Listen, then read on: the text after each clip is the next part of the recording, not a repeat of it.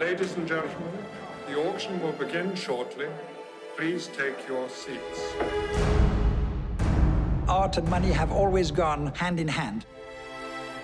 It's very important for good art to be expensive. $16 million, 17 million.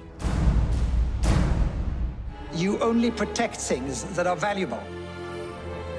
If something has no financial value, people don't care.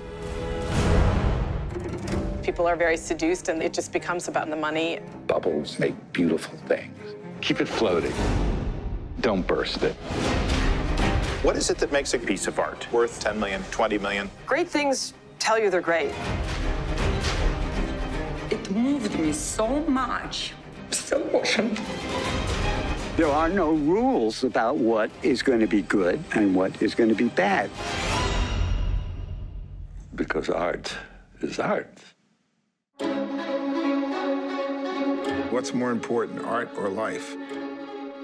I would say art, because at least it lives forever.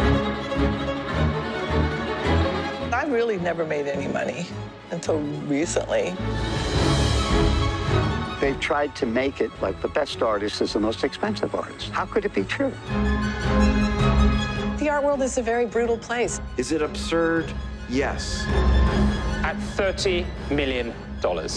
Sold to you. Thank you very much indeed. There's a lot of people that know the price of everything and the value of nothing.